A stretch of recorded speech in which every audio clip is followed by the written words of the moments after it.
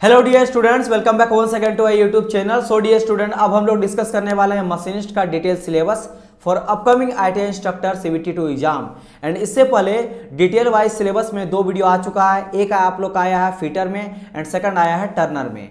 तो अगर आप उन दोनों वीडियो को अभी तक आप नहीं देखो डिटेल सिलेबस एनालिसिस नहीं देखो तो जाके यूट्यूब के प्लेलिस्ट में चेकआउट कर सकते हो एंड दोनों वीडियो को आप लोग देख सकते हो। अब मैं ऐसा क्यों बोल रहा हूँ? देखने के लिए उन दोनों वीडियो को।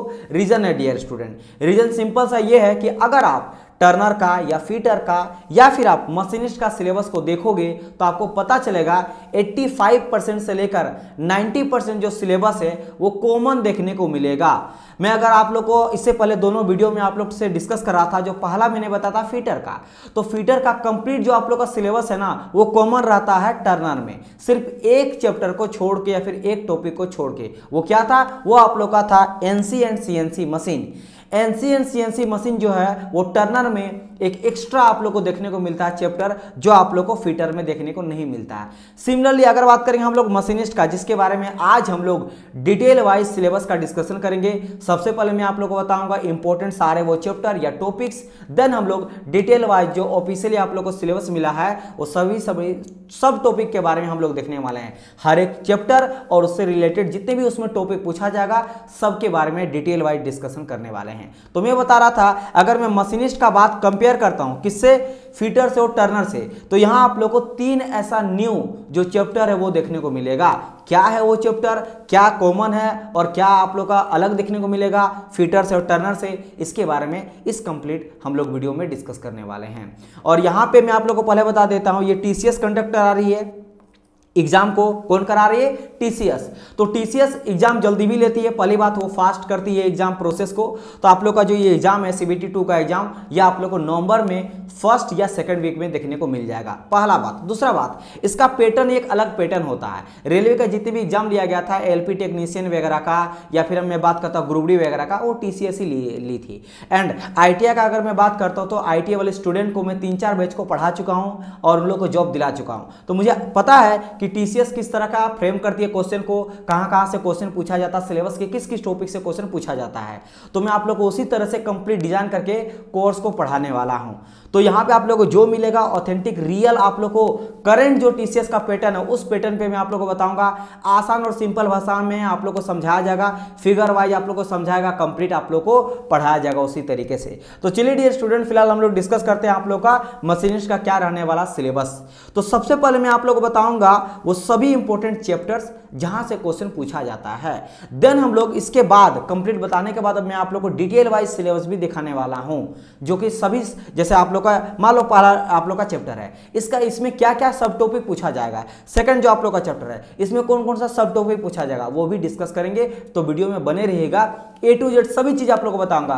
टीसीएस का पैटर्न कैसा क्वेश्चन पूछा जाता है कहाँ कहाँ किस किस चैप्टर से आप लोग को क्वेश्चन आने वाला है, सब चीज़ बताएँगे। और लास्ट में आप लोग को जो कोर्स में मिलने वाला है। किस तरह से मैं आप लोग को पढ़ाऊँगा क्या क्या चीज़ मिलेगा, सब बताने वाला हूँ तो वीडियो में बने रहिएगा। तो देखो, सबसे पहले अगर मैं बात करता हूँ डियर स्टूडेंट पहला चैप्टर या टॉपिक जो आप लोग को मसीज में देखने को मिलता है, वो आप लोग का क्या? Introduction and occupational safety and health अब देखो दियर ये अगर मैं देखो, इसमें से अगर बात करूँगा ना तो टोटल आप लोगों को कॉमन देखने को मिलेगा। First chapter second chapter third chapter fourth chapter fifth chapter six हो गया सेवंथ हो गया एट हो गया नाइन हो गया टेन हो गया। यहाँ जितने भी आपको दस टॉपिक या चैप्टर देखने को मिलेगा सेम आप लोगों को देखने को मिलेगा टर्नर में भी और फिटर में भी। पहले मैं आपको बता देता हूँ क्या कॉमन और क्या अनकॉमन है, जो कॉमन नहीं रहने वाला है। अब बात करते हैं यहाँ पे इलेवेंथ नंबर का। ये जो इलेवेंथ नंबर का आप चैप्टर देख रहे हो ना, यही आप लोग को देखने को मिलेगा किसमें? मशीनिस्ट में। जो आप लोग को ना तो टर्नर में देखने को मिलेगा, ना फिटर में देखने को मिलेगा। तो अगर आप इसमें हो मशीनिस्ट में हो तो आपको एक्स्ट्रा ये चैप्टर पढ़ना पड़ेगा। ना बात करते हैं बारह नंबर तो कॉमन है। ये आप लोग को दोनों में देखने को मिलेगा। फिटर में भी और आप लोग को टर्नर में भी। अगर बात करें थर्टी नंबर का limit fit common property of metal common heat treatment common ये बात करता है सिक्सटी नंबर ये जो सिक्सटी नंबर देख रहे हो ना, ये भी कॉमन है। किससे कॉमन है? टर्नर में ये आप लोग का कॉमन है बट ये आप लोग का फीटर में कॉमन नहीं है। अगर मैं बात करता हूँ ना फीटर में, देखो ध्यान से समझना फीटर में एंड टर्नर में। टर्नर में। तो फीटर एंड टर्नर में जो एक ही टॉपिक है, जो आप लोग को कॉमन नहीं देखने को मिलता, वो आप लोग का है ये chapter that is your NC and C CNC और ये किसमें है? ये आप लोग को पढ़ना पड़ेगा टर्नर में। ये पढ़ना पड़ेगा आप लोग को टर्नर में। ये फीटर में नहीं है। फिटर में नहीं है, टर्नर में है। लेकिन अगर बात करें मशीनिस्ट में तो मशीनिस्ट में भी है। अब बात करते हैं आगे। अगर बात करें यहाँ पे सेवन सत्रह नंबर का चैप्टर जो है, सेंसर और एक्यूटर्स, और अठारह नंबर का बात करेंगे, पावर ट्रांसमिशन एलिमेंट। तो ये जो दो आप लोग का चैप्टर है या टॉपिक है ना, ये कंप्लीटली डिफरेंट है, जो आप लोग को पढ़ना पड़ेगा सिर्फ़ और सिर्फ़ मशीनिस्ट में। तो अगर मैं मशीनिस्ट का बात करता हूँ तो एक हो गया ग्यारह नंबर का, एक हो गया आपको सत्रह नंबर का, और एक हो गया अठारह नंबर का। ये जो तीन आप लोग को चैप्टर और टॉपिक देखने को मिल रहा है ये सिर्फ़ और सिर्फ़ आप लोग को देखने को मिलेगा मशीनिस्ट में ही। बाकी जितने भी आप लोग का चैप्टर है, ये सब कॉमन है, टर्नर में भी और फिटर में भी। समझ आए कि नहीं? चलिए अब हम डिस्कस करते हैं कि इसमें सर जी क्या क्या पूछा जाएगा, वो मैं आप लोग को बताता हूँ वन बाय वन करके स्टार्टिंग से ही। तो अगर डियर स्टूडेंट मैं यहाँ पे बताऊँ आप लोग को एक सेकेंड ठीक है? मुझे डिलीट करना था आप लोग का, ये सभी चीज़ ओके देखो वन बाय वन करके हम लोग यहाँ बताते हैं। अगर बात करते हैं फ़र्स्ट वाले में सर क्या पढ़ने को मिलेगा? तो as you know that occupational health यानी हेल्थ और सेफ्टी हो गया। आप जहाँ पे भी काम करते हो तो वहाँ पे आप लोग को हेल्थ से रिलेटेड और सेफ्टी से रिलेटेड प्रिकॉशन आप लोग को अपनाना पड़ेगा। क्योंकि आप लोग न्यू कमर हो गए तो आप लोग को ये चीज़ पता होना चाहिए कि मैं कैसे अपना जान को पहली बात बचाऊं हेल्थ को कैसे बचाऊं। इसके लिए बूट पहनना पड़ेगा शूज़ पहनना पड़ेगा अलग तरह का आप लोग को कवर दिया जाएगा, वो आप लोग को एप्रन पहनना पड़ेगा ग्लव्स दिया जाएगा गोगल्स दिया जाएगा सेफ्टी और इक्विपमेंट दिया जाएगा होल्डिंग डिवाइसेस वगैरह दिया जाएगा, ये चीज़ आप लोग का हेल्थ से रिलेटेड हो गया। और सेफ्टी से रिलेटेड भी ये चीज़ आ गया। जैसे पावर फेलियर हो जाता कभी कभी समझ आया कि नहीं? कभी कभी सिस्टम फेलियर हो जाता है, कभी मेन आप लोग का करंट जो है वो गड़बड़ा गया। तो ये सब चीज़ से रिलेटेड आपको कॉमन चीज़ें पता होना चाहिए जो हम लोग इस टॉपिक में पढ़ने वाले हैं। सेकंड टॉपिक में अगर बात करेंगे, जितने भी इंस्ट्रूमेंट है ना, जो मेजरिंग का काम आता है एंड थर्ड में मार्किंग का काम आता है तो ये सभी इंस्ट्रूमेंट के बारे में आप लोग को पता होना चाहिए। जैसे वर्नियर कैलिपर हो गया फिर स्केल हो गया ट्राई स्केल हो गया, ये सभी चीज़ के बारे में आप लोग को नॉलेज होना चाहिए, ताकि आप लोग मेजरिंग कर सको मार्किंग कर सको। क्योंकि कोई भी चीज़ हम लोग बनाते हैं कटिंग टूल वगैरह बनाते हैं कटिंग करते हैं टेबल ट्रेनिंग करते हैं ड्रिलिंग करते हैं लेथ मशीन में ढेर सारा ऑपरेशन होता है तो उन सभी चीज़ में हम लोग को मेजर करना पड़ता है कि सही जितना हम लोग बनाएँ, जितना लेंथ का चाहिए, जितना विर्थ का चाहिए, उतना हो रहा है कि नहीं हो रहा है तो आप लोग कैसे करिएगा? जब तक आप मेजर नहीं करिएगा। और उसको कटिंग करने के लिए ड्रिलिंग करने के लिए फिनिशिंग करने के लिए हम लोग को मार्किंग मार्किंग करना पड़ता है कि इतना डप तक मुझे क्लीनिंग करना है, इतना डप तक मुझे कटिंग करना है। समझ आया कि नहीं? ग्रूविंग करने के लिए डप्थ कटिंग करने के लिए लर्निंग ऑपरेशन करने के लिए ढेर सारा के लिए आप लोग को करना पड़ेगा। तो ये तो बेसिक चीज़ हो गया आगे बढ़ते हैं। अगर मैं फोर्थ नंबर का बात करूँ तो वर्कशॉप एंड फाउंड्री टूल्स देखो, बहुत सारा सा टूल है जो यूज़ करना पड़ता है वर्कशॉप में हम लोग को। और फाउंड्री फाउंड्री में जैसे बात करेंगे कास्टिंग करते हैं। अलग अलग तरह का हम लोग सेप ढालते हैं। अगर वर्कशॉप में बात करेंगे तो ड्रिलिंग करते हैं वेल्डिंग करते हैं। तो इन सभी चीज़ में टूल यूज़ करते हैं। जैसे वेल्डर टूल हो गया वेल्डर होल्डर होल्डर डिवाइस हो गया। इसके अलावा बात करेंगे, बहुत सारा और भी इक्विपमेंट टूल हो गया जो सपोर्ट करने का काम आता है होल्डिंग करने का काम आता है। तो इन सभी टूल के बारे में आप लोग को पता होना चाहिए। वो सभी इस चैप्टर में पढ़ेंगे। आगे बात बढ़ते हैं फिफ्थ नंबर का तो बात करते हैं यहाँ पे वर्क होल्डिंग डिवाइसेज कुछ आप लोग का सपोर्ट सपोर्टिंग डिवाइस होता है एसेसरीज होता है, कुछ आप लोग का होल्डिंग डिवाइस होता है। एसेसरीज होता है एंड आप लोग का डिवाइस जो ये सभी डिवाइस होता है ना, उनके बारे में आप लोग को नॉलेज होना चाहिए। फिर बात करेंगे लेथ मशीन का very very important mother of all machine कहा जाता है। क्यों? क्योंकि इसमें आप लोग ढेर सारा ऑपरेशन कर सकते हो। ढेर सारा अलग अलग आप लोग का डिवाइसेज है मशीन है, जिसमें एक ही काम होता है। लेकिन अगर मैं लेथ मशीन का बात करूँ ना तो lathe machine mother of all machine क्यों कहते हैं? बिकॉज़ इसमें आप लोग एक नहीं, दो नहीं, तीन नहीं, चार नहीं, आप लोग दस, पंद्रह, बीस तरह का ऑपरेशन कर सकते हो सिर्फ़ एक मशीन में। इसलिए lathe machine mother of all machine कहा जाता है।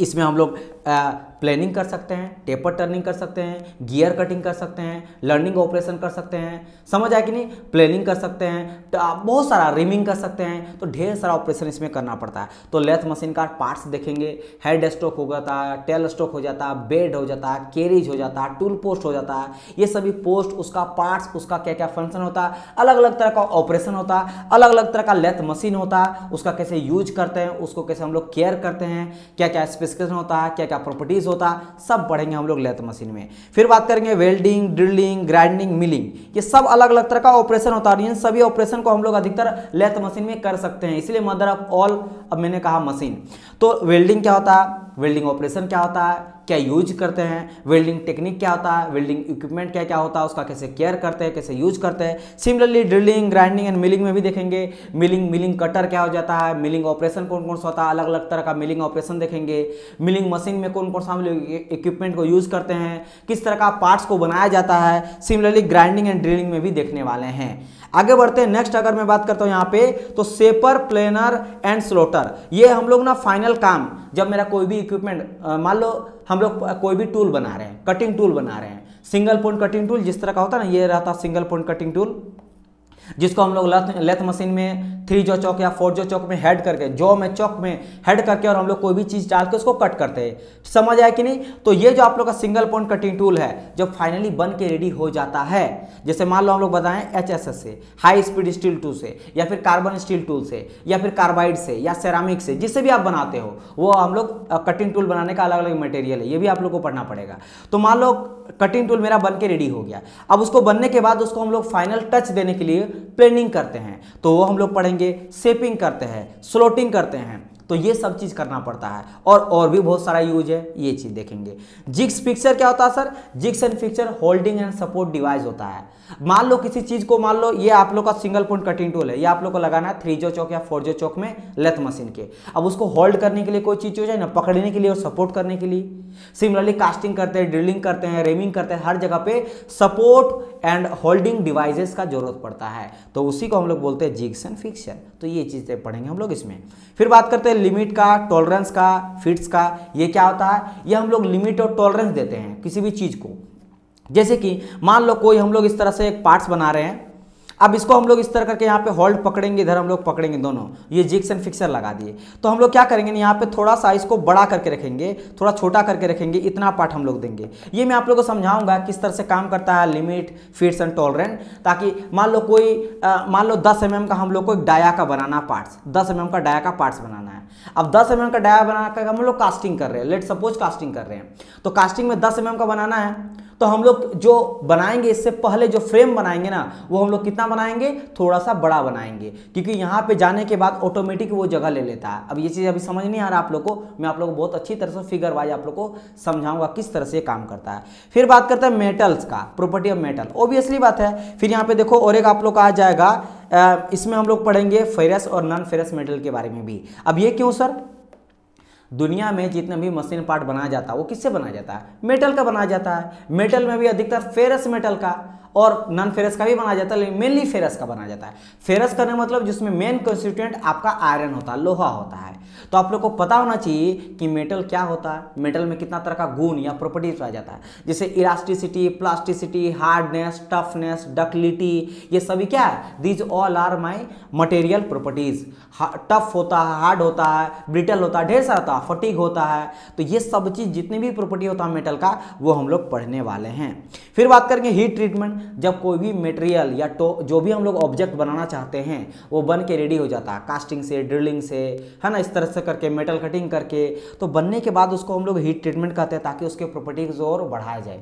उसके स्ट्रेंथ को बढ़ाया जाए, उसके हार्डनेस को और बढ़ाया जाए, उसके डक्लिटी वगैरह को चेंज करके और उसके प्रॉपर्टी को इन्हांस करने के लिए हम लोग क्या करते हैं? हीट ट्रीटमेंट प्रोसेस करते हैं। इसमें हम लोग क्या करते हैं? हीट करते हैं। गर्म करते हैं, फिर उसको कूलिंग किया जाता है। एयर में या वाटर में या सॉल्ट बाथ में कूल करते हैं। गर्म करके कूल करते हैं। उससे उसका ग्रेन जो होता है ना, वो रिफाइन होकर फिर से न्यू स्ट्रक्चर बनाता है, जिसके उसका प्रॉपर्टी इनहांस हो जाता है। फिर बात करें हम लोग एन सी मशीन के बारे में।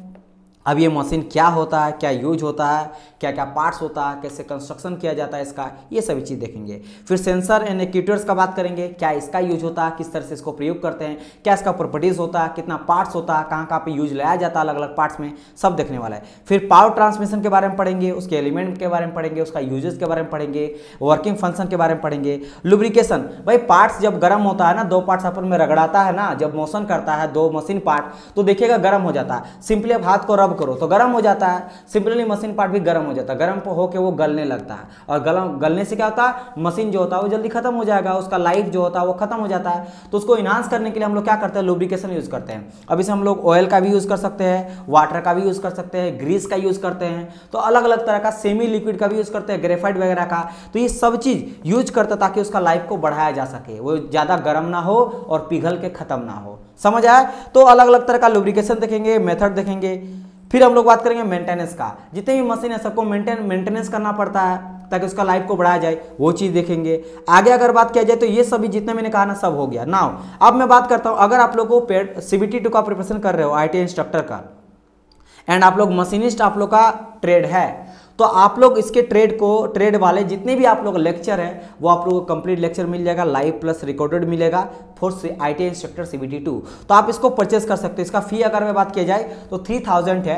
अभी अगर आप परचेस करते हो तो सिर्फ़ और सिर्फ़ आप लोगों को पंद्रह सौ में कंप्लीट मिल जाएगा।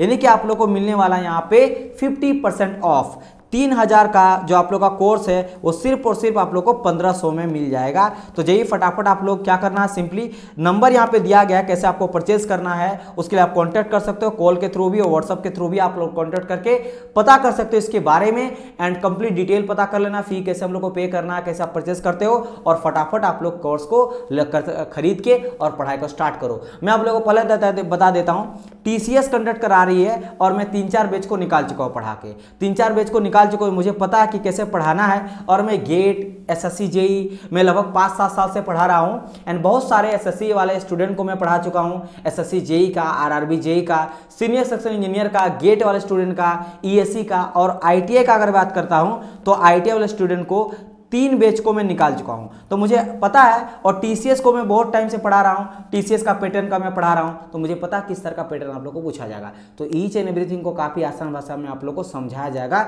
जाइए परचेज कीजिए कोर्स को एंड पढ़ना स्टार्ट करिए। इसके अलावे अकल आप लोग का ट्रेड फीटर में या टर्नर में मशीनिस्ट में ग्राइंडर में, या वेल्डर में सीट मेटल वर्कर में, या फिर मशीन टूल मेंटेनेंस में है तो इन सभी का मास्टर जो है कोर्स बनाया गया है। For I T instructor C अगर आप लोग का ब्रांच मैकेनिकल प्रोडक्शन है तो आप लोग इस मास्टर कोर्स को ले सकते हो। यहाँ पे आप लोग को क्या मिलेगा? लाइव एंड रिकॉर्डेड बेच आप लोग को कंप्लीट मिलने वाला लेक्चर वाइज पीडीएफ में आप लोग को मिल जाएगा। वन टू वन कोई भी दिक्कत रहेगा तो ट्यूटर से आप लोग टॉक भी कर सकते हो। अगर इसका फ़ी का मैं बात करता हूँ तो इसका फ़ी का अगर मैं बात करूँ तो छः हज़ार है बट अभी आप लोग लेते हो तो सिर्फ़ और सिर्फ़ आप लोग को तीन हज़ार में मिल जाएगा। इनकी फिफ्टी परसेंट यहाँ पे भी आप लोग को ऑफ़ देखने को मिलेगा।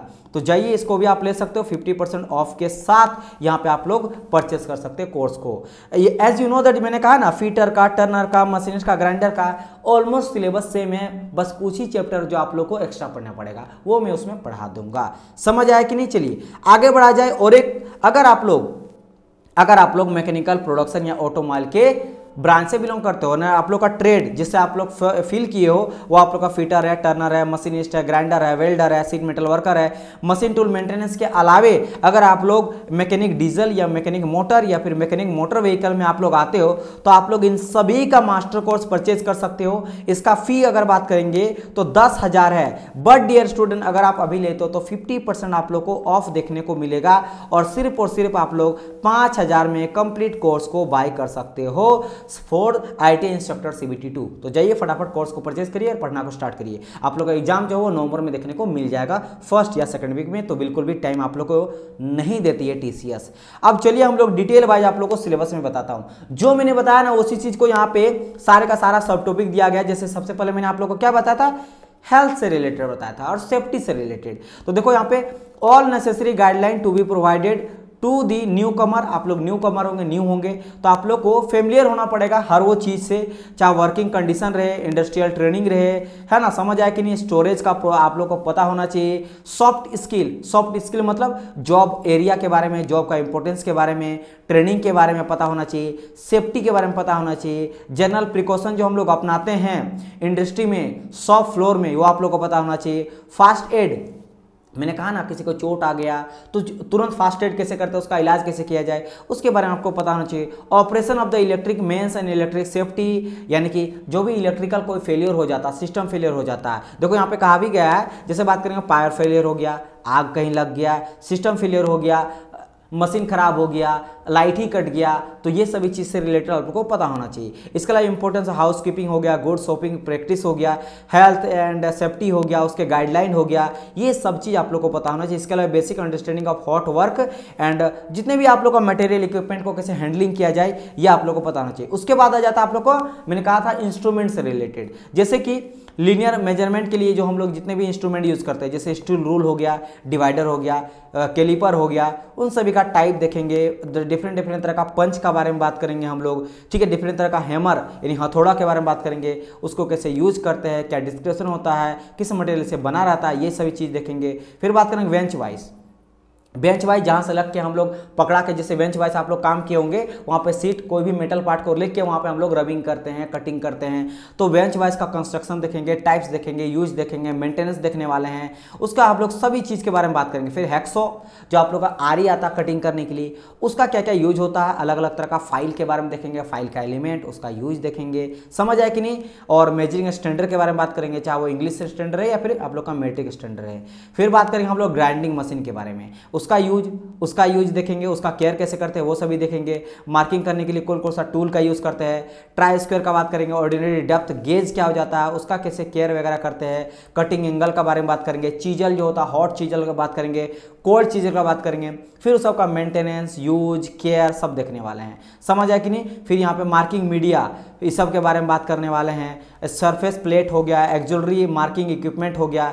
एक्जुलरी जो मार्किंग हम लोग इक्विपमेंट यूज़ करते हैं वी ब्लॉक क्या होता है एंगल प्लेट क्या होता है पैरल ब्लॉक क्या होता है इन सभी का टाइप्स हो गया, इन सभी का केयर हो गया मेंटेनेंस हो गया, सब चीज़ देखने वाले हैं। फिर बात करेंगे हम लोग ड्रिल का टेप डाई का, उन सभी का ऑपरेशन के बारे में बात करेंगे अप्लीकेशन बात करेंगे मेंटेनेंस के बारे में बात करेंगे। समझ आए कि नहीं फिर यहाँ देखो रीमर का बात किया गया है। अब रीमर रिमर मटेरियल यूज़ करते हैं। अब इसके कितना टाइप्स होता है, कितना पार्ट्स होता है, कितना तरह का रिमर का प्रोसीजर हम लोग अपनाते हैं, फिर वर्नियर हाइट गेज के बारे में बात करेंगे सिमिलरली इसका कंस्ट्रक्शन देखेंगे, इसका सेटिंग देखेंगे, इसका रीडिंग देखेंगे केयर एंड मेंटेनेंस देखेंगे वर्नियर हाइट गेज के बारे में बात करेंगे, फिर इंटरचेंजेबिलिटी में बात करेंगे हम लोग अलग अलग फ़ील्ड के बारे में लिमिट्स के बारे में डेफिनेशन के बारे में टाइप्स के बारे में। जैसे इसमें हम लोग बात करेंगे लिमिट गेज में बात करेंगे तो आप लोग का होता है फीट बेसिक आप लोग का साइज़ होता है होता है एक्चुअल साइज़ होता है उसका हम लोग देखेंगे डेविएशन देखेंगे हाई एंड लो लिमिट देखेंगे ज़ीरो लाइन देखेंगे टॉलरेंस देखेंगे टॉलरेंस जोन क्या होता है अलाउंसेस क्या होता है,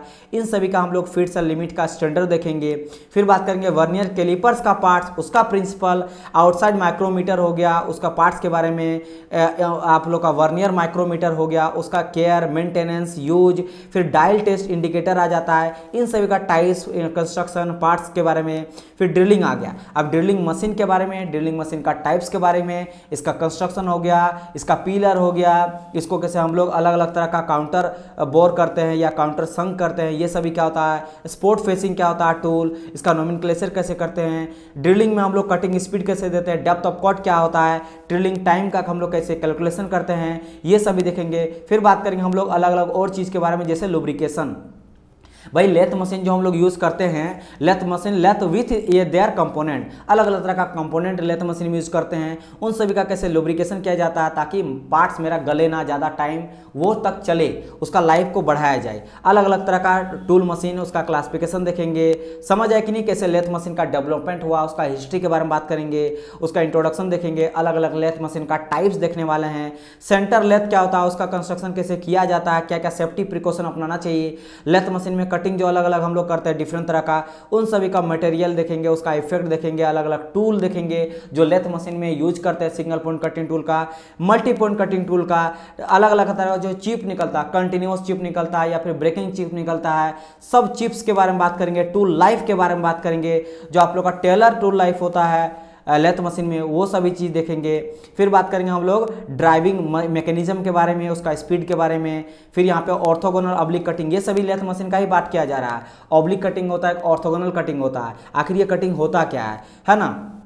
चक, जो चक जहाँ पे हम लोग होल्डिंग किसी भी डिवाइस को पकड़ाते हैं लेथ मशीन में। ये थ्री जो चौक भी होता है फोर जो चौक भी होता है, वो चक जो अलग अलग चक के बारे में बात करेंगे, फिर होल्डिंग डिवाइसेस के बारे में बात करेंगे। लेथ मशीन का एडवांटेज हो गया डिसएडवांटेज हो गया माउंटिंग डिवाइसेस हो गया, फिर बात करेंगे वर्नियर वेबल प्रोटेक्टर के बारे में, इसका अलग अलग टाइप्स के बारे में। लेथ ऑपरेशन फेसिंग टर्निंग या अलग अलग तरह का हम लोग बात करेंगे ना, जैसे मैंने कहा था ना लेथ में हम लोग ढेर सारा मदर ऑफ़ ऑल मशीन कहा जाता है। क्यों? क्योंकि इसमें हम लोग ढेर सारा ऑपरेशन कर सकते हैं। तो टर्निंग कर सकते हैं, और आप लोग का फेसिंग कर सकते हैं ग्रूविंग कर सकते हैं पार्टिंग ऑफ़ कर सकते पार्टिंग ऑफ़ मतलब किसी चीज़ को कट करके तोड़ देना। और ग्रूविंग मतलब सिर्फ़ कट करना, चारों तरफ़ से ग्रूव करना। ठीक है? चैम्फरिंग करना बोरिंग करना। बोरिंग मतलब हॉल कर उसको बड़ा करना। समझ आया कि नहीं? ड्रिलिंग करने के बाद। लर्निंग मैंने कहा ना, ये डायमंड सेफ़ हो जाता है बोरिंग करेंगे तो हॉल किया जाता है इस तरह से। तो ये सब चीज़ के बारे में पढ़ेंगे, इसका नेसेसरी देखेंगे। फिर बात करें हम लोग टेपर का। टेपर का अलग अलग मेथड के बारे में बात करेंगे हम लोग। अलग अलग डायमेंशन के बारे में बात करेंगे। तो यहाँ पर ढेर सारा चीज़ है जो हम लोग पढ़ने वाले हैं। फिर टेपर टेनर का कैलकुलेशन देखेंगे साइन बार हो जाता है उसका यूज़ स्लिप गेज होता है उसका यूज़ देखेंगे, है ना? डिफरेंट तरह का थ्रेड फॉर्म कैसे किया जाता है अलग अलग तरह का लेथ मशीन में के थ्रू स्लोटर क्या हो जाता? है स्लोटर का classification principle construction safety precaution क्या क्या अपना चाहिए अपनाना चाहिए स्लोटर में? ये सभी चीज़ हम लोग देखेंगे। आगे अगर मैं यहाँ पर बात करता हूँ डियर स्टूडेंट तो फिर देखने वाले हम लोग क्या? जॉब होल्डिंग डिवाइसेज जैसे वॉइस हो गया क्लैम्स हो गया वी ब्लॉक हो गया पैलल ब्लॉक हो गया स्लोटिंग टूल के बारे में बात करेंगे। टूल एंगल के बारे में, इसका टाइप्स के बारे में बात करने वाले हैं। फिर कूलेंट एंड लुब्रिकेशन मैंने कहा कूलेंट बहुत इंपॉर्टेंट है। अगर टूल के लाइफ को इंक्रीज करना तो कूलेंट का मुझे यूज़ करना ही पड़ेगा। फिर बात करें हम लोग मिलिंग मशीन के बारे में। मिलिंग मशीन के बारे में इंट्रोडक्शन देखेंगे टाइप्स देखेंगे कंस्ट्रक्शन देखेंगे पार्ट्स देखेंगे। समझ आए कि नहीं? फ़ीड मैकेनिज्म के बारे में बात करेंगे। अलग अलग तरह का जो मिलर कटर होता है उन सभी के बारे में देखने वाले यहाँ पे देखो अलग अलग तरह का डिफरेंट तरह का मिलर कटर उसका यूज़ उसका नोमिन कैसे करते हैं, ये सभी देखेंगे। फिर मिलर का ऑपरेशन देखने वाला अलग अलग तरह का। चाहे प्लेन फेस हो गया एंगुलर हो गया, फिर आपका फॉर्म हो गया स्लॉट हो गया गेंग हो गया। समझ आए अप मिलिंग होता डाउन मिलिंग होता अलग अलग तरह का डिफरेंट तरह का मिलिंग मिलिंग में हम लोग अलग अलग तरह का अटैचमेंट यूज़ करते हैं, वो सभी देखेंगे। फिर जिक्स एंड फिक्सर का बात करेंगे। जिक्स एंड फिक्सर क्या होता? है सपोर्ट करने के लिए और होल्ड करने के लिए डिवाइसेस को। समझ आया? अब इसमें हम लोग देखेंगे कौन कौन सा हम लोग वेट हार्डनेस सबको देखने के लिए। फिर बात करेंगे हम लोग हीट ट्रीटमेंट का। अब हीट ट्रीटमेंट में बहुत सारा हीट ट्रीटमेंट प्रोसेस है जाता है। क्या यहाँ पे दिया गया? इंट्रोडक्शन बात करेंगे, उसका पर्पसेस क्या हो जाता है? क्या क्या क्यों हम लोग करते हैं? और जैसे कि प्लेन हम लोग प्लेन कार्बन स्टील में करते हैं, हाई कार्बन स्टील में करते हैं, ठीक है? आप लोग का कास्ट आयरन में किया जाता है, सब में हम लोग यहाँ पे देखने वाले हैं। फिर यहाँ पे बात करेंगे हम लोग टर्निंग का, वही सभी चीज़ है। लेथ मशीन का यहाँ बात करें, लेथ सेंटर का, लेथ डॉग का कैच प्लेट हो गया, ड्राइविंग प्लेट हो गया, फेस प्लेट हो गया, समझ आए इस सभी का यूज़ हो गया, मेंड्रिल हो गया, काफ़ी इंपॉर्टेंट सब चीज़ के बारे में देखेंगे। फिर यहाँ पे आ जाता है स्क्रू थ्रेड। स्क्रू थ्रेड के बारे में बात करेंगे। आप लोग का स्क्रू थ्रेड क्या होता है? Minor diameter, pitch diameter, lead diameter, depth of cut, depth of thread, समझ आया कि नहीं? ये सब देखने वाले हैं। फिर बात करेंगे ग्राइंडिंग का। ग्राइंडिंग का इंट्रोडक्शन देखेंगे ग्राइंडिंग व्हील देखेंगे बॉन्ड ग्रेड देखेंगे। अलग अलग तरह का हम लोग जो ग्राइंडिंग व्हील यूज़ करते हैं, वो सब चीज़ के बारे में बात करेंगे। फिर बात करेंगे हम लोग यहाँ पे क्या?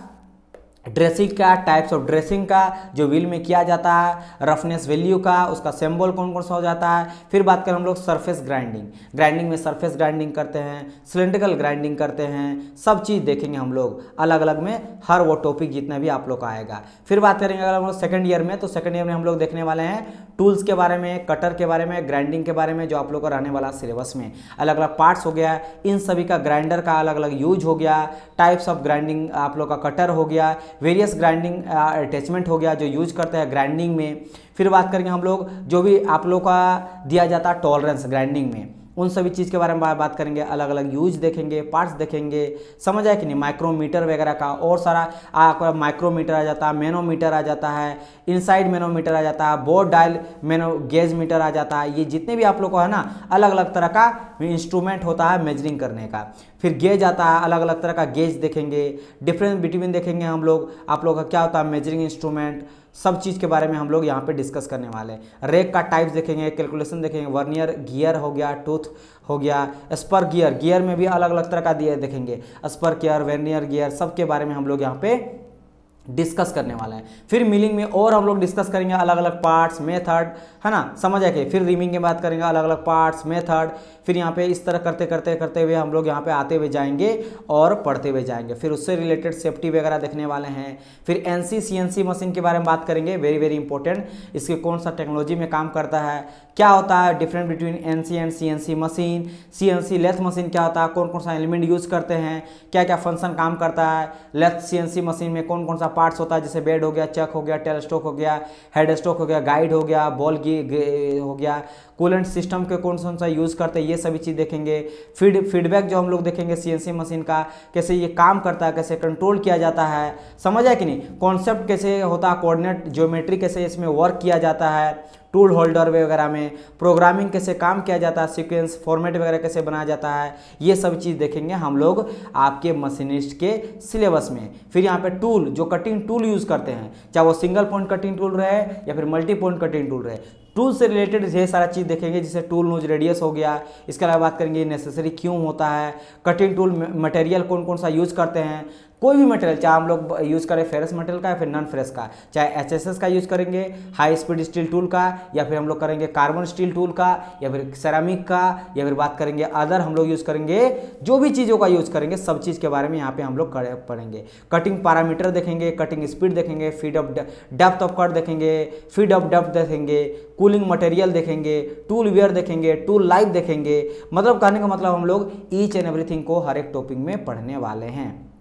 इस तरह करके हम लोग देखने वाले हैं। समझ आए कि नहीं? टूल ऑफसेट वगैरह हो गया, यहाँ पे हम लोग ये सभी चीज़ के बारे में बात करने वाले हैं। फिर यहाँ पे हम लोग देखेंगे और क्या? सेफ्टी से रिलेटेड वही सेफ्टी से रिलेटेड हम लोग सीएनसी में क्या क्या सेफ्टी रखने वाले हैं, वो सभी चीज़ देखेंगे यहाँ पे। समझ आए कि नहीं? फ़ीड वगैरह का सीएनसी मशीन का कैसे ऑपरेशन लिया जाता है मिलिंग ड्रिलिंग में कैसे उस सभी का यूज़ किया जाता है। तो ये जितने भी आप लोग को दिया गया है ना ए टू जेड सब चीज़ हम लोग यहाँ पे आप लोग को पढ़ाने वाले हैं। और कोई भी चीज़ यहाँ पे छूटेगा नहीं, इस चीज़ का आप लोग को ध्यान में रखना है। जो पढ़ाया जाएगा ईच एंड एवरीथिंग को काफ़ी अच्छी तरह से समझा समझा के आसान भाषा में आप लोग को पढ़ाया जाएगा विथ फिगर के साथ समझाया जाएगा। तो जितने भी सिलेबस मैंने बताया, ये सिलेबस सिलेबस आप लोग को पढ़ना है तो परचेज कीजिए कोर्स को, वहाँ से आप लोग को क्लास मिलना स्टार्ट हो जाएगा। एंड हम लोग मिलते हैं क्लासेस में। तब तक ले good bye and God bless you और कोई भी डाउट रहे तो कमेंट कीजिएगा। कमेंट में आप लोग को रिप्लाई कर दिया जाएगा। कोई भी डाउट का। इसके अलावा मैं अगर आप लोग को कोई ऐसा पर्टिकुलर टॉपिक में दिक्कत हो रहा तो उससे रिलेटेड आप लोग को वीडियो बनाया जाएगा ताकि आप लोग को कोई भी इशू होना मिलते हैं हम लोग नेक्स्ट पार्ट में। तब तक ले good bye and God bless you all